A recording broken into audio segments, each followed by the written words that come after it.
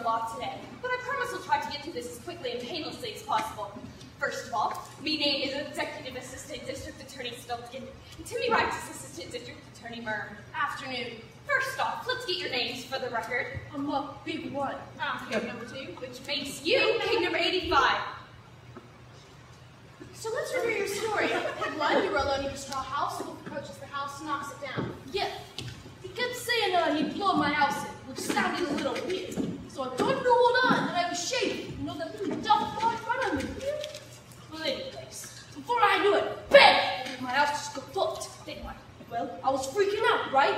So a girlie tell it on my bros. He showed up all discombobulated, pork on my. I felt his forehead, he was baking, and I've been sizzling. Go on. Well, same thing basically. I'm shaving, and that hairy gash with that fancies, and before I know it, my bachelor pad's your place. And that's where you come in? Quite. They arrived at my doorstep, utterly frazzled. I comforted them with team confidence. At which point the perpetrator arrived, attempted identical van-power destruction but failed. That is affirmative, Counselor. What about this wolf character? You know him? We did. He was the highest bidder on the contract for all three of our houses. But all of us withdrew at the last moment. Why? We saw him and that poor girl in the red hoodie on Judy. That beanie mess last month with the old lady. The thing with the schnauzer and the empty kitchen cabinet? No. Oh, the one who lives in the Reebok. No, the other old lady. You know that better to flank you with, my dear. Right. So, we certainly didn't want any association with convicted felon. Was he angry about your pulling your contract? Absolutely livid. Hello, motive. Chances are we'll need you to testify on what you just told us. We will be able to do whatever is necessary. One thing I'm not clear on. Disparity in the composition of your respective residences? Um, well, it's a simple story, really. See, Mom and Pop passed away, though, 10 years back. Swine flu.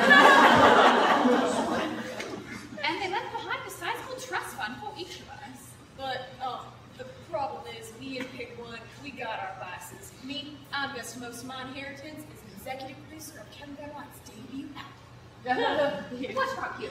Oh, this little biggie went to Vegas. he lost everything on the Always bet on pink. and as you can imagine, given that red and black are the only options in the left, and given that Kevin Federline, well, you know. Pig one I didn't have much money left over the rest of the estate. Right. Hence my straw and mistakes. And what about you? I invest in my inheritance in our new condominium, replete with fortified Ukrainian stainless steel, state-of-the-art motion sensory alarm system, and most importantly, a windproof foundation. Sounds not cheap. Indeed, I too no longer have any money. But at least we have each other. Like, uh, brothers in a blanket.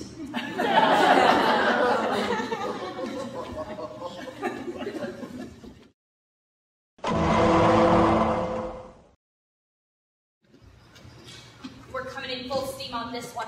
Two counts each of malicious destruction of property and re- reckless endangerment. Nothing less. And given your client's history, we can't go anywhere near minimum jail time. But if you hand us a guilty plea, we'll lowball it at 10 years with eligibility for parole. My client pleads not guilty to all counts. Oh, come off it, Pete. No jury out there would swallow that if it was corn battered and served on a stick. We've got eyewitness testimony of your client fleeing the scene with an industrial fan. His personal effects in the rubble. We've got motive, opportunity, and let's not forget the guy's got a rap sheet longer than Benjamin Button. Picnic basket theft, nursing home baby, impersonation of the age, and I'm just getting warmed up. For each of those crimes, my client was falsely accused. Exactly, that's why his first and middle names are big and bad. That's not my name. No, no, it's okay. I want to talk. I can get this one off my chest. My name is BB Wolf, yes. That stands for Bernard Bartholomew Wolf. After the Loretta incident, the tabloids have been a big bad. My name is, as I told you, my name is Bernard Bartholomew. Bartholomew Wolf. I'm certainly not big, I'm certainly not bad. I'm 5'10", about 50. Now, Biggie Small was big, but not me. I'm not big. I'm just a small town wolf, living in a lonely world. A wolf always ends up in the wrong place at the wrong time. Well, today ends up in the wrong place at the wrong time. I just said that. We don't care if you're big and bad, small and good, or medium and half decent. Our offer doesn't budge. And my innocence doesn't budge. Budge rhymes with fudge. I haven't eaten today. If you're insistent you're not guilty, why bring at the scene of each crime with fan? Again, my client has already explained he received three BYOF invitations on MySpace. And he did and found no such invitations. They could have been easily deleted. You're scraping though. What's about the slow motion chasing? I was afraid, okay? I mean, how many times I get blamed for crimes I don't commit? First the red incident, then the whole mix of that Peter kid. I mean, I can't take it anymore. I have some brilliant advice. Stop committing crimes. My client's innocent still, but please stands. Have it your way. Glad to see you're still at it, Keep as usual, doing what's expected of you. Grabbing a criminal, following the herd. Say what you will, I'm just doing what I'm supposed to. And what's that? My job.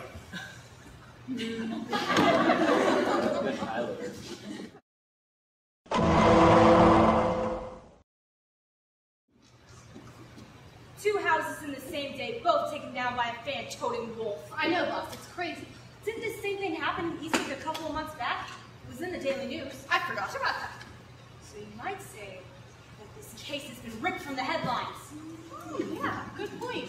Anyway, headline ripping aside, we gotta talk about this BB Wolf character, who I don't have to remind you has been a thorn in my side for longer than I can remember. We remembered. I get a solid month's worth of grief from Cassaville every time Harry Gary here walks. I need you to drop a net on this guppy.